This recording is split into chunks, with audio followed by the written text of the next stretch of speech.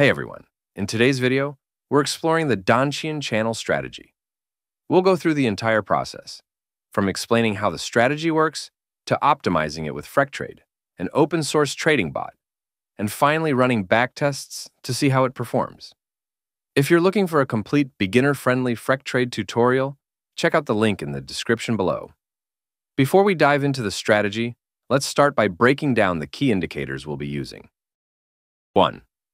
Donchian Channel The Donchian Channel is a trend-following indicator that highlights the highest high and lowest low over a set period.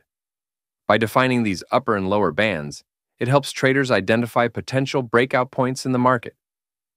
When the closing price crosses above the upper band, it indicates a potential upward breakout, and we consider entering a long position. When the closing price crosses below the lower band, it signals a potential downward breakout, and we consider entering a short position. While the Donchian channel can be very effective in identifying trends, it is not perfect. In markets that are moving sideways or experiencing low volatility, the price may cross the bands frequently, generating false signals. These false signals can lead to losing trades if used in isolation. To improve accuracy, the Donchian channel is often combined with other indicators, such as the Average Directional Index, ADX, to confirm the strength of a trend.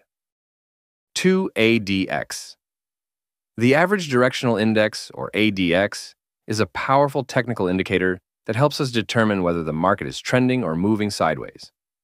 It's important to note that ADX does not indicate the direction of the trend. It only measures the strength of the trend. The ADX value ranges from 0 to 100. A value below 20 suggests a weak trend or a sideways market. A value above 20 indicates a strong trend, whether it's moving upward or downward. By checking the ADX before entering trades, we can confirm that the market is in a meaningful trend. 3. Choppiness Index The Choppiness Index, or CHOP, is an indicator that helps us identify whether the market is trending or ranging. It's particularly useful for avoiding trades during periods of low momentum or sideways price movement. The CHOP value typically ranges from 0 to 100. A CHOP value above 40 indicates a choppy or sideways market, where trends are weak and trading signals are less reliable. A CHOP value below 40 suggests that the market is trending, either upward or downward, making it a better environment for trend-following strategies like the Donchian channel. By using the choppiness index in combination with the Donchian channel and ADX, we can filter out trades in indecisive or sideways markets.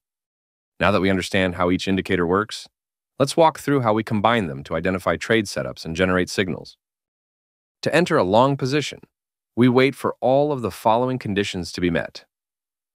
Price crosses above the Donchian channel upper band. This indicates a potential breakout to the upside signaling the start of a new upward trend. ADX is above 20.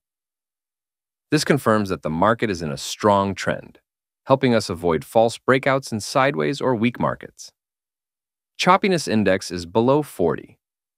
This shows that the market is trending rather than moving sideways, which increases the reliability of our trade. Price is above the 50 period EMA. This confirms that the overall market momentum is bullish and aligns with our long position. Once all of these conditions are met, we enter the long trade on the next candle. After entering the trade, we manage risk using an ATR-based trailing stop loss. In this strategy, we use ATR multiplied by 3.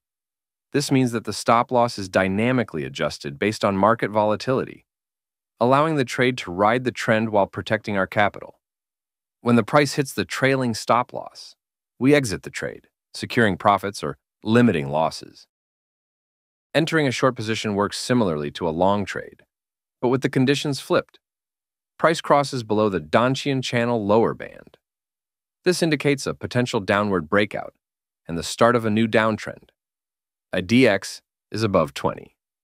Confirms that the market is in a strong trend, avoiding weak or sideways moves. Choppiness index is below 40, shows that the market is trending, not moving sideways, making the signal more reliable. Prices below the 50 period EMA confirms that overall market momentum is bearish and aligns with our short trade. Once all conditions are met, we enter the short trade on the next candle. We also use the ATR, trailing stop loss, to manage risk. This allows the trade to follow the trend while protecting our capital. When the price hits the trailing stop loss, we exit the trade. Now that we understand the strategy, let's move on to optimization using Freqtrade. We'll test on the one-hour time frame and split the data into in sample, 8 months. For tuning the strategy, out of sample, 4 months. For testing on unseen data.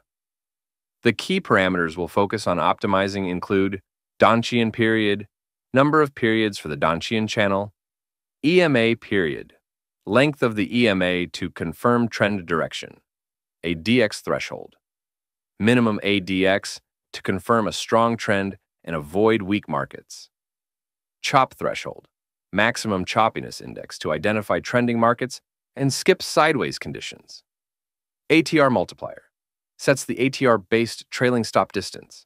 We'll use Freqtrade's HyperOpt feature to find the best combination of these parameters.